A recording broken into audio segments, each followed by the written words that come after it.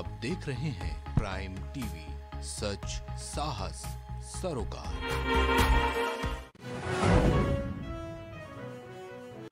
अमित शाह का कर्नाटक दौरा drug trafficking और नेशनल सिक्योरिटी पर सम्मेलन में होंगे शामिल।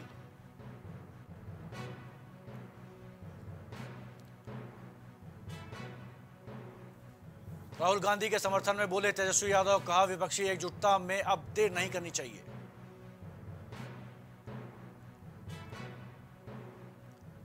सीएम योगी ने वितरित किए नियुक्ति पत्र, बोले छह वर्षों में साढ़े पाँच लाख से ज़्यादा युवाओं को दी नौकरी।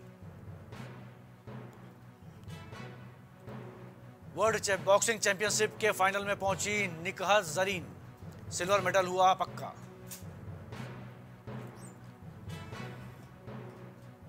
मेरठ में कोरोना के तीन नए केस मिले, एक बुज़ुर्ग मरीज़ अस्पताल में भर्ती।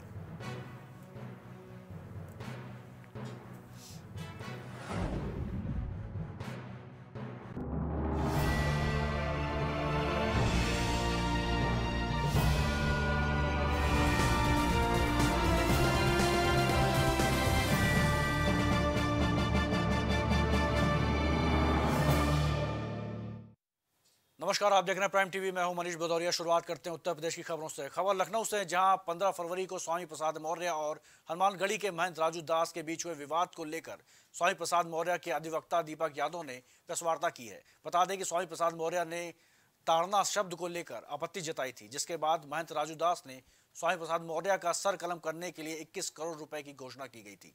और टीवी चैनल के कार्यक्रम में स्वामी प्रसाद मौर्य पर हमला भी हुआ था, जिसके बाद स्वामी जी ने शासन और प्रशासन के तमाम आला अधिकारियों से गुहार लगाई है। मगर एफआईआर दर्ज नहीं हुई, जिसके बाद मुख्य न्यायिक मजिस्ट्रेट लखनऊ में मुकदमा दर्ज करने के लिए कहा है। कानून व्यवस्था संविधान का जो मखौल उड़ाया जा रहा है, इसको दुरुस्त किया जाए। इसका ये उद्देश्य। समस्या ये आ रही है कि कोई भी व्यक्ति कानून व्यवस्था को दरकिनार करके जहाँ जो चाह रहा है, वो वैसे कर रहा है। कोई व्यक्ति किसी से छुप जाए तो उसके बॉडी पार्ट की अलग अलग कॉस्टिंग करे दे रहा, कोई कह रहा, सर काट के लाओ, इतना देंगे। कोई कह रहा है ज़ुबान काट के लाओ, इतना देंगे। अरे, हर चीज़ की एक प्रक्रिया है प्रोसेस में जाइए, विधि व्यवस्था के अनुसार आइए। ये क्या है कि मतलब किसी ने कुछ किया तो उसके विरुद्ध आप इस तरह करेंगे।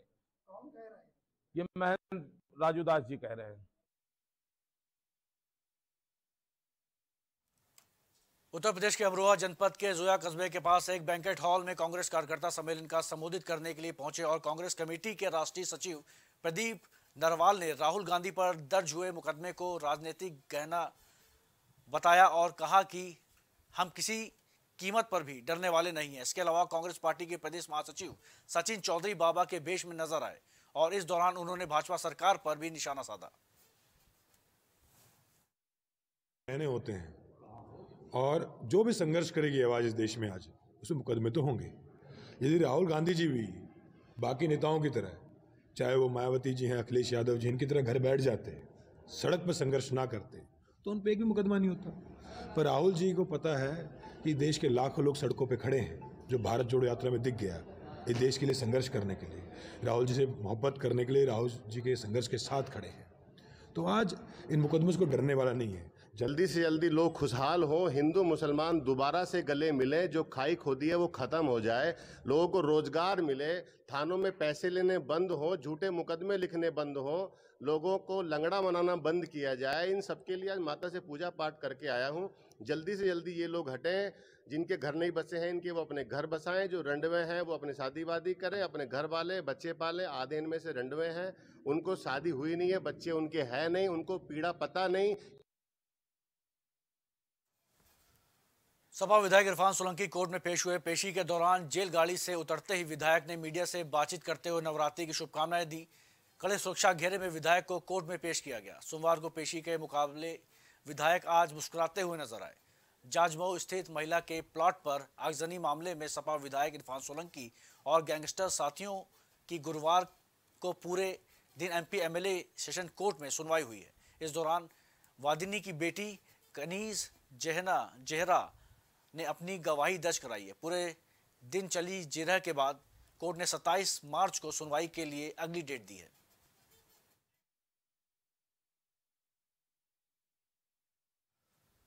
कानपुर में करौली बाबा विवादों के घेरे में हुए हैं, जहाँ नोएडा के एक डॉक्टर ने उन पर पिटवाने का आरोप लगाया है। मारपीट के मामले में बाबा से पूछताछ करने के लिए कानपुर पुलिस की टीम करौली आश्रम जाएगी। इसके अलावा विधुन पुलिस मारपीट वाले स्थान का मौका मुआयना करेगी। उत्तर प्रदेश में के कानपुर में एक स्वयंभू बाबा करौली बाबा उर्फ़ संतोष सिंह भदौरिया के चमत्कार को नोएडा के डॉक्टर ने चुनौती दे दी, जिससे भड़के करौली शंकर बाबा के समर्थकों ने डॉक्टर के ऊपर हमला कर दिया। इस मामले में एक वीडियो सोशल मीडिया पर वायरल हो रहा है, जिसमें बाबा और भक्त के बीच बहस हो रही है। करौली बाबा पर कई आपराधिक आरोप लग चुके हैं। करौली बाबा के खिलाफ उन्नीस सौ बानवे से उन्नीस के बीच हत्या समेत कई अपराधी मामले दर्ज किए गए इस मामले पर करौली बाबा ने कहा कि वह अपने वकील से बात करने के बाद ही अपना बयान दर्ज कराएँगे। इस पर पुलिस का कहना है, आश्रम उन्हें लिखित में दे कि उनके पास आश्रम में लगे सीसीटीवी की रिकॉर्डिंग नहीं है। आपको वो वीडियो भी दिखाएँगे कि जो लोग एक दिवसीय हवन करके आते हैं और मेरे समझ आते हैं जब तो मैं देखता हूँ तो बहुत करीब है। और मुझे लगता है ये सब कुछ कुछ भेजबाज किया गया है क्या? इसने हवन किया? मैं उसका रुपया वापस कराता हूँ। लिखा पढ़ी में सब आपको नंबर भी देंगे, वीडियो भी हैं उसके पड़े हुए, सारे वीडियो भी हैं।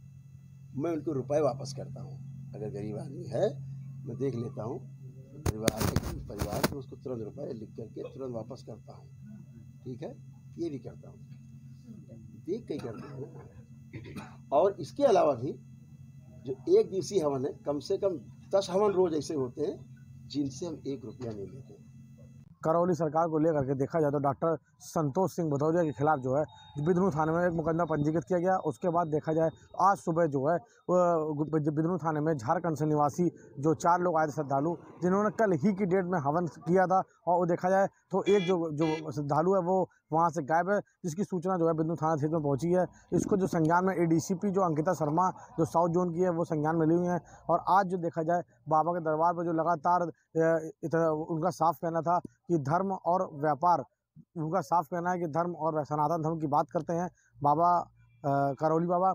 और देखा जाए तो इसमें जो धर्म धर्म में अगर सनातन धर्म की बात की जाए तो कभी भी किसी की सेवा करने के लिए कोई मूल्य नहीं लिया जाता है। और व्यापार की बात रही तो व्यापार में अगर सुविधा शुल्क जो है, वो लिया जा रहा है। वो देखा जाए, कहीं ना कहीं और देखा जाए तो इनके जो पूर्व में जो है सन उन्नीस सौ बानवे और उन्नीस सौ पंचानवे में जो इनके मुकदमे पंजीकृत थे, देखा जाए कहीं ना कहीं वही मुकदमे जो खोले जा रहे हैं, जिनमें कि हत्या और एनएसए की कार्रवाई जो है की जा रही है। जिसमें ज्वाइंट कमिश्नर आनंद प्रकाश तिवारी और बीपी जोगन कमिश्नर जो है कानपुर के, उन्होंने कमेटी रखी थी है और करौली बाबा खिलाफ जो है एक टीम गठित करने हो सकता है कि जल्द जो है टीम जो है करौली बाबा आश्रम पहुँचेगी। कमिश्नर मौजूद, उपेंद्र साना, कानपुर। उत्तर प्रदेश के जनपद फिरोजाबाद में उत्तर प्रदेश उद्योग व्यापार मंडल के बैनर तले 50 साल पूरे होने पर स्वर्ण जयंती मनाने के अवसर पर उत्तर प्रदेश उद्योग व्यापार मंडल के प्रदेश अध्यक्ष फिरोजाबाद पहुँचे हैं। इस दौरान नगर अध्यक्ष अम्बेश शर्मा ने उनके आगमन पर सभी व्यापारियों के साथ मिलकर टूंडला पर इनका भव्य स्वागत किया, जिसके बाद उद्योग व्यापार मंडल की तरफ़ से कुछ शिकायती पत्र भी दिए गए, जिसका उत्तर प्रदेश के स्तर पर जाकर निस्तारण किया जाएगा। वहीं मुख्य अतिथि से पूछने पर उन्होंने बताया कि यह रैली तेरह मार्च से शुरू हुई थी और आठ मई को लखनऊ में जाकर खत्म होगी।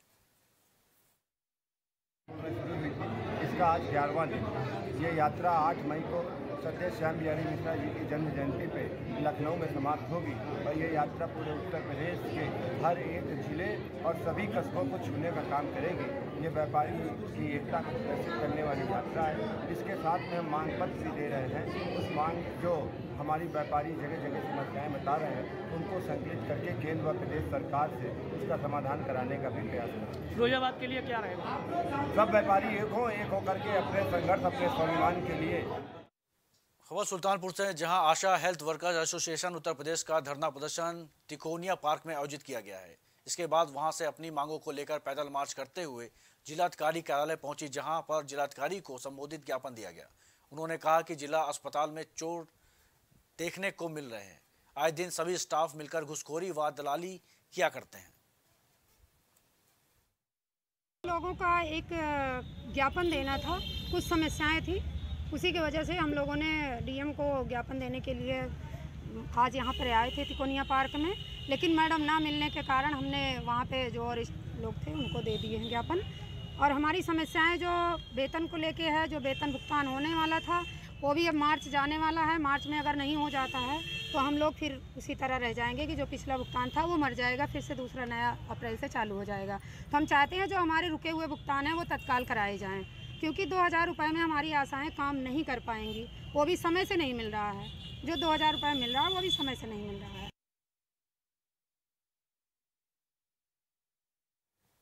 गाजीपुर पुलिस ने सदर कोतवाली क्षेत्र में जल निगम कॉलोनी के आठ महीने पहले लापता हुए दो भाइयों को दिल्ली से बरामद किया। बच्चे दिल्ली में एक बैग कारखाने में काम कर रहे थे, जहाँ से पुलिस ने दोनों बच्चों को बरामद करते हुए बड़ी सफलता हासिल की है।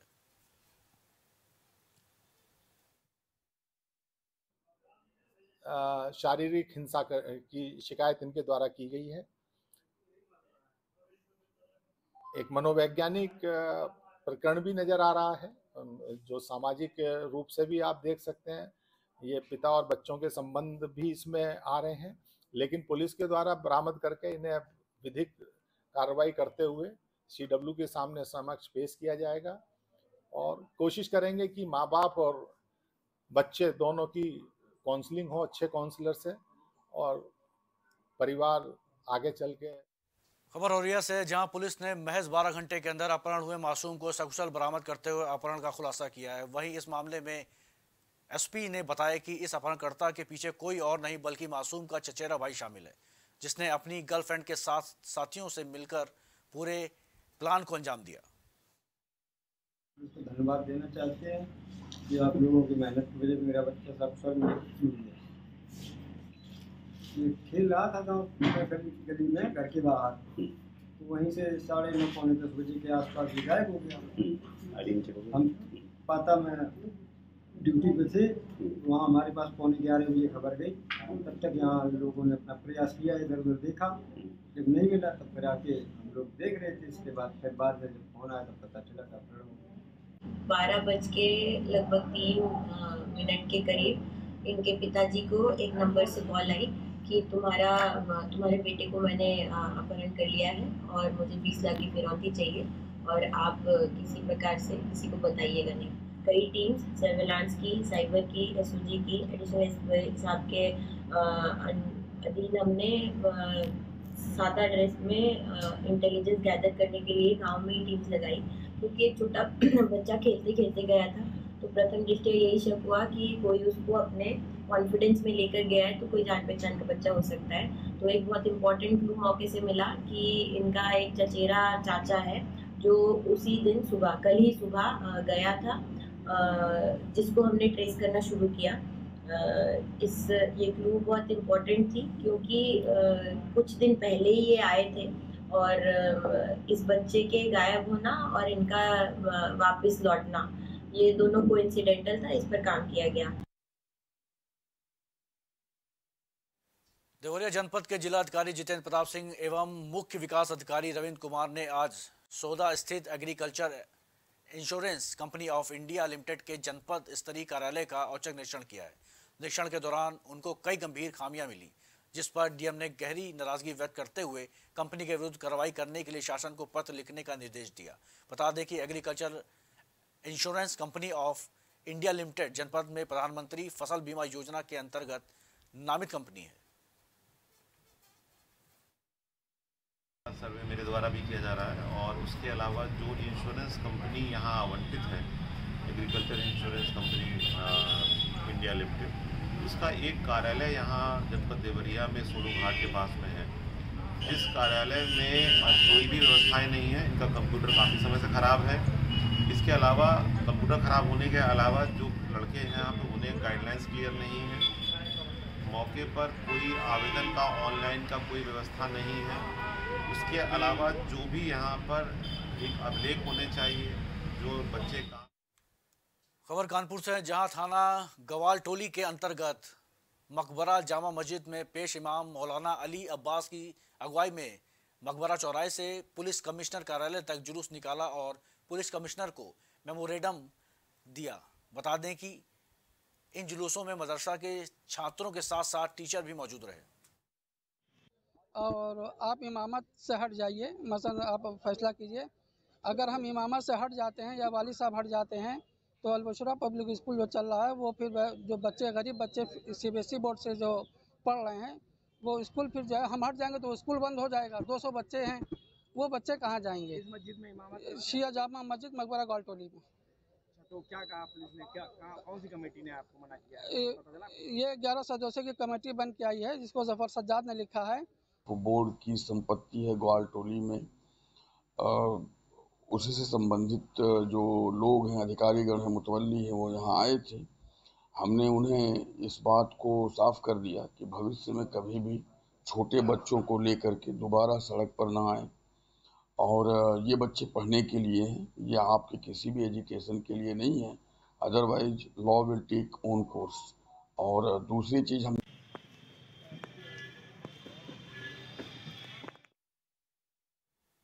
खबर रायबरेली से, जहाँ नवरात्रि के दौरान देवी मंदिरों की साफ़ सफ़ाई और अष्टमी व नवमी के दिन रामायण पाठ कराए जाने को लेकर समितियों का गठन कर दिया गया है। बता दें कि जिला स्तर पर सीडीओ तहसीलों में एसडीएम और ब्लॉक पर बीडीओ की अध्यक्षता में समितियों का गठन किया गया। वहीं सांस्कृतिक कार्यक्रमों में कलाकारों को बुलाए जाने पर उनको मानदेय भी दिया जाएगा। इसके लिए शासन स्तर से एक लाख रुपए की राशि दी गई है। हैं विभिन्न जगहों पर पूरे ज़िले में। उसमें हम लोगों को व्यवस्थाएँ सुनिश्चित करानी है कि वहाँ पर लोगों के जन सुविधाओं के दृष्टिगत सभी चीज़ें सुचारू रूप से होती रहें और जहाँ पे कलाकारों द्वारा कोई प्रस्तुति होगी, उसके लिए एक लाख रुपए जनपद को मिला है। तो उसमें जहाँ जहाँ पे इस तरह के प्रस्तुतिकरण होंगे, उसमें सी डी साहब के माध्यम से इसकी, इसको सुनिश्चित कराया जाएगा।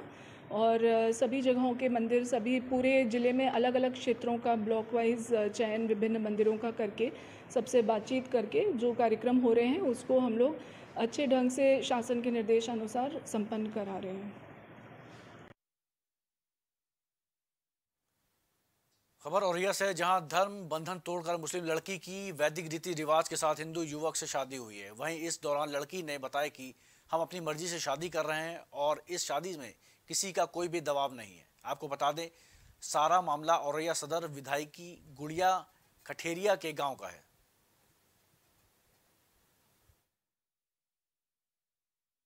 आप हिंदू धर्म अपना रहे हैं, किस तरीके से देखते हैं? आपने अपनी स्वेच्छा से शादी की है? कोई किसी प्रकार का दबाव तो नहीं है? आप खुश हैं? रहे किस तरीके से देखते हैं? आप खुश हैं इसमें? कोई दबाव तो नहीं है? का हिंदू है, किस तरह से देखती हैं आप? बहुत अच्छे से देखा और इन्होंने लड़की है जो। इन्होंने मेरा नंबर किसी प्रकार से लिया और मुझसे बात की। कि हमारे आपके गाँव का लड़का है और जिसको हम चाहते हैं जिन्हें मरने के लिए तैयार है। हॉस्पिटल अचल्ला में ये दोनों लोग वहाँ जॉब कर रहे हैं इनका दोनों का अपना संबंध हुआ। इन्होंने मुझे जब फ़ोन करके कहा तो हमने कि आप हमारे गाँव आ जाए जब हमने देखा इनसे पूछा कि विकलांग लड़का है हाँ जी मतलब लड़का। लड़का है? आपने मुस्लिम धर्म की लड़की से आपके बेटे ने शादी की है कैसे देखते हैं आप?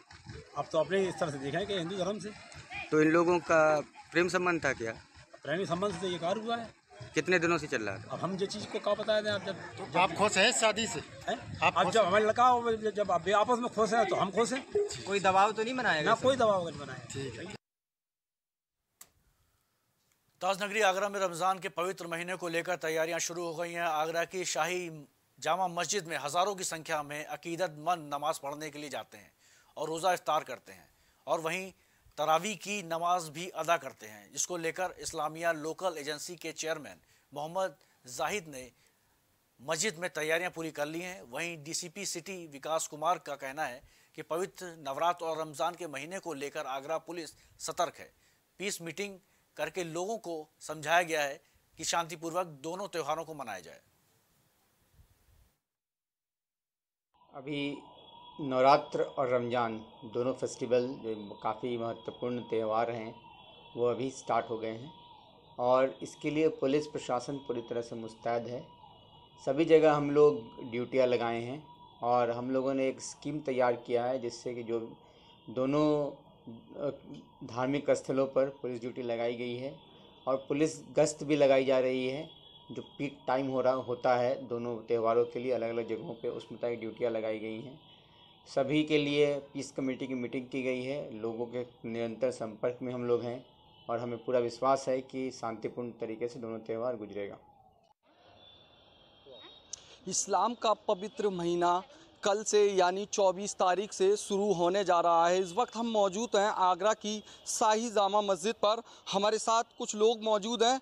आइए इनसे बात कर लेते हैं किस तरीके की इस्लामिया लोकल एजेंसी की तरफ़ से व्यवस्थाएँ की गई हैं। यहाँ पर नमाज़ पढ़ी जाती है और ख़ास नमाज़, तरावी की नमाज़ भी यहाँ पर अदा की जाती है। हमारे साथ मौजूद हैं मोहम्मद फैसल। आइए इनसे बात कर लेते हैं। फैसल भाई, किस तरीके की यहाँ पर व्यवस्थाएँ हैं और देखिए, सबसे पहले बात आती है नमाज़। तो नमाज़ के लिए जगह पवित्र होनी चाहिए साफ़ सुथरी होनी चाहिए। सबसे पहले तो यहाँ पूरी आप देख रहे होंगे, एक तिनका एक कंकड़ आपको नहीं मिलेगा, पूरी सफ़ाई कराई गई है। हौज को पूरी को साफ़ कराया गया है और यहाँ जो है 21 तरावी होती हैं। 21 में जो है दिन तरावी पूरी होती हैं 21 दिन की तरावी होती हैं।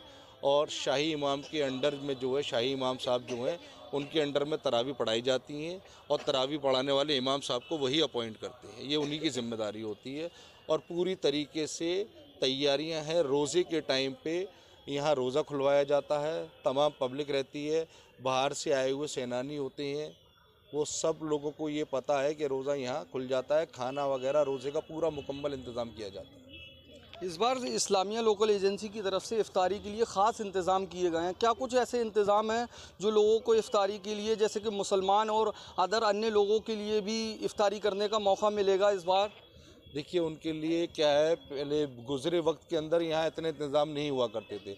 जब से नई कमेटी ने चार संभाला है तो डे बाई डे यहाँ पे नई नई चीज़ें हो रही हैं। तो पिछले साल भी किया था इन लोगों ने इंतज़ाम। ये अरशद भाई के अंडर में रहता है सारा इस बार उस संख्या को तीन गुना बढ़ा के कर दिया गया है। तकरीबन कितनी बड़ी संख्या में यहाँ पर लोग इफ्तारी करते हैं और तराबी की नमाज़ पढ़ी जाती है? देखिए जी हमारा इफ्तारी का इंतज़ाम तो लगभग 500 लोगों के आसपास का रहता है उसमें जितने आ जाएँ लेकिन इस बार उम्मीद हाँ। जी तीसों दिन रहता है पूरे खाने का और उसका और तरावी के टाइम पे यहाँ पे मेरे ख्याल से तीन से चार हज़ार आदमी हो जाएगा इंशाल्लाह। प्रशासन की अगर बात करें, क्योंकि नवरात्र भी हैं और रमज़ान का पाक महीना भी है तो किस तरीके की व्यवस्थाएँ प्रशासन की तरफ़ से? देखिए, प्रशासन को आपने गुजरे वक्त में अभी देखा होगा, शब कदर और होली एक टाइम पे पड़ी थी।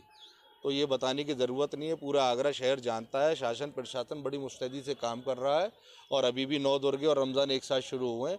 तो कहीं किसी तरीके की कोई व्यवस्था भंग नहीं है, शासन प्रशासन बहुत अच्छी तरीके से काम कर रहा है और हम सब पूरी तरीके से सहमत हैं उनसे।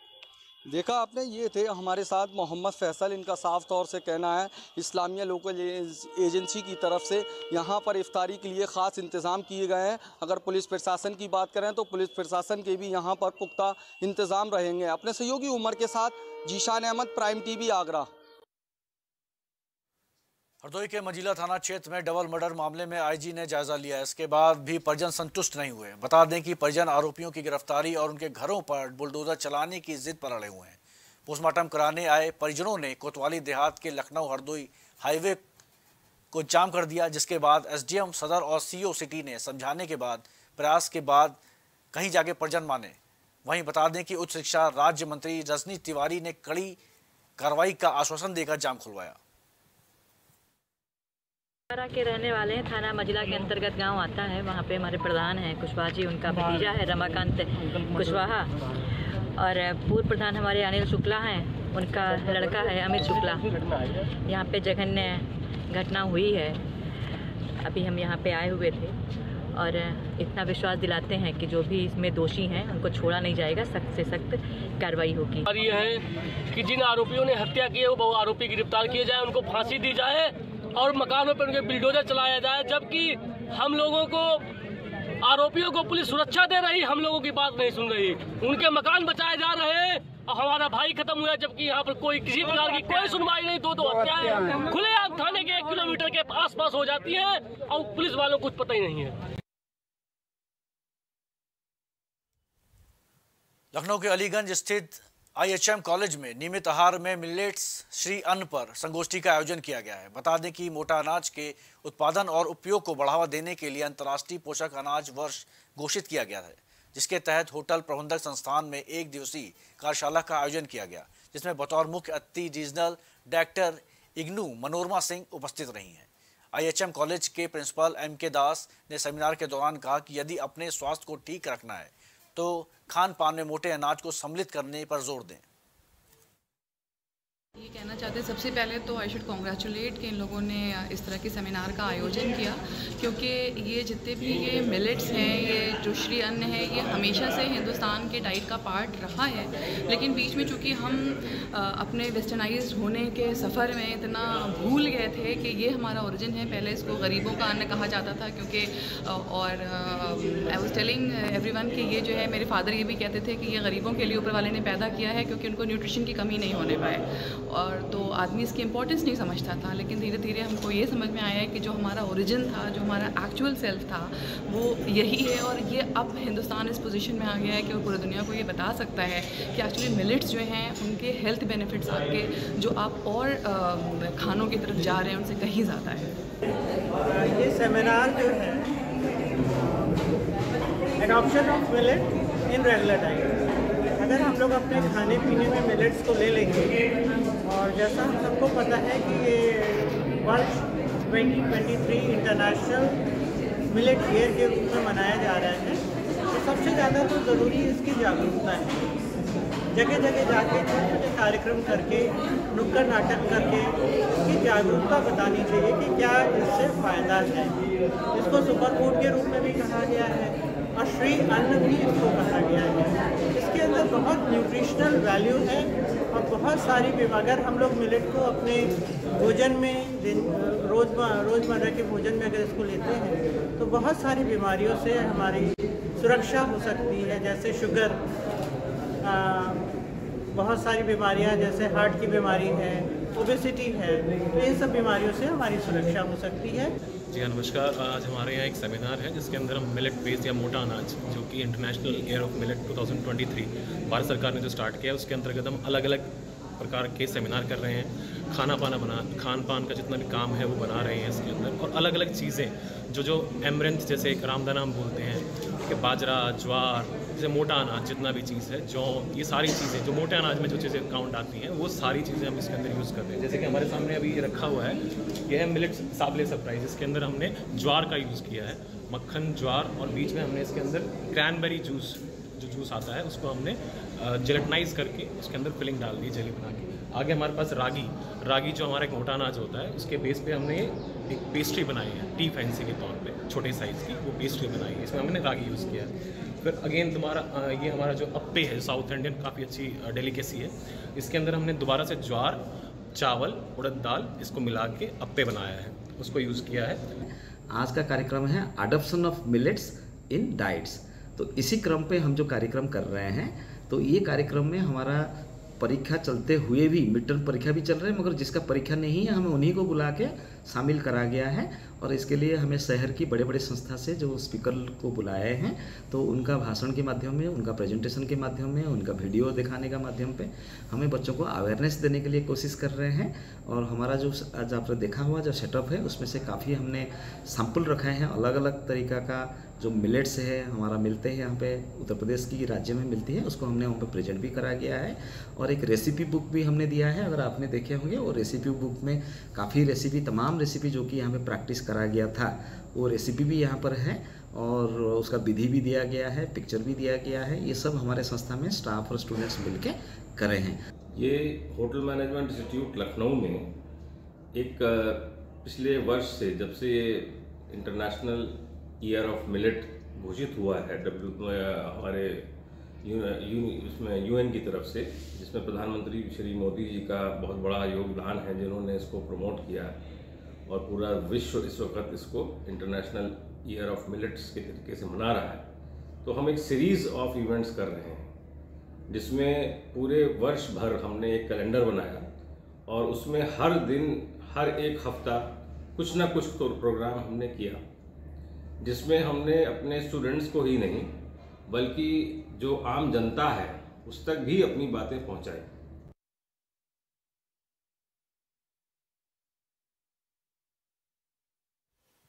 फ़िलहाल उत्तर प्रदेश की खबरों बस इतना ही। देश प्रदेश की खबरों के लिए देखते रहिए प्राइम टीवी। नमस्कार।